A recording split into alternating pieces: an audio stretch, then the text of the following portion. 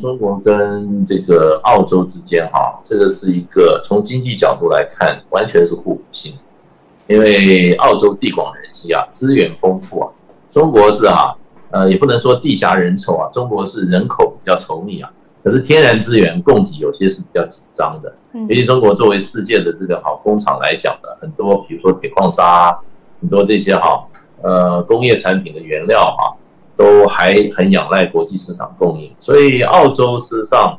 这个经济的整个结构跟中国大陆高度、高度、高度互补的。所以这也造就了过去啊双方的共荣。三十年前的时候，有同同事到澳洲工作的时候，那时候澳洲的经济，他们的感觉是没有什么太大的动能。整个社会哈，虽然富裕是富裕，可是动能不足。可是中国大陆开始改革开放以后，你如果说从数据来看，澳洲澳洲的经济也是快速起飞，然后极有活力，然后注入很多新的这些动能进入到澳洲的经济，包括澳洲的社会啊。那所以我就觉得，过去这么长一段时间，其实已经证明了，那么澳洲跟中国中国大陆合作的话，真是互蒙其利啊。澳洲前一任政府啊，就是说 Morrison 政府，它的政策上，比如说新冠病病毒的时候啊，那全世界澳洲变成啊是好像有点揭竿而起，一定要中国查这个起源啊，还有很多这些作为，好像交了几十年朋友，突然感觉不像个老朋友了，所以当然这个关系就受到很大波折了。如果从现实、从这些实际来讲的话，澳洲基本上离中国是比较近，嗯，离这个其他的世界是比较远的。而且我刚刚讲的经济几个元素的互补性这么强，中国事实上这个文明是主讲究的是大家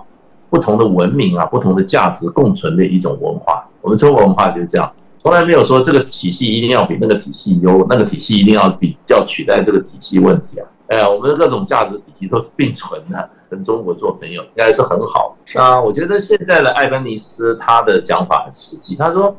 我们跟中国的贸易总量，中国市场是我跟后面第三个贸易对象的加起来总额还大。那这样的情况之下，我们就以商场的这些原则来看的话，既然是这么大的客户。干嘛一定要把政治关系搞得这么这么剑拔弩张？也没必要。你澳洲原来是五眼联盟，也不是从四年前开始，也不过五年前开始，二次大战以后就有了，也没有影响到澳中关系的发展嘛，可以并行的、并存的嘛。可是基本上就不要，就是说朋友之间就变成一种攻击性的关系，反而不好。那我看澳洲换了政府以后，这个政府现在是比较务实主义。是。那我觉得这种这种情况之下。双方关系的改善，我觉得是指日可待。在这个世界里面，哈，你能够给人带来什么利益比较重要，而不是你能告你能给人带来某些思想或某种价值来的，有的时候更重要。国与国之间本来就是讲大家照顾自己人民的生活嘛。那你如果国与之间搞到最后，自己国内老百姓生活都受到影响的话，这不是好的政策。因为中国是坚持继续改革开放。我欢迎买，我买你的东西，你也买我的东西。然后呢，这中间不带什么政治意识形态，那大家就是以经济的发展作为主轴。所以我觉得，只要中国这个政策不改啊，基本上就是说能够走改革开放路线，然后呢，大家共存共荣啊，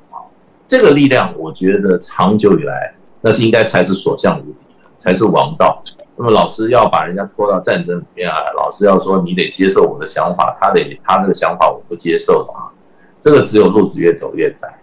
那美国现在还是有这个国力啦，就是说过去打下来的基础，可是他们吃老本也吃太多了。嗯，那我觉得中国要走的路就是说，呃，永远记住就是说大家利益共共享，然后呢共存共荣，要存异求同。我觉得老祖先给我们的这些呃智慧哈。能够继续发扬光大，哈，路子还是哈既宽又长的。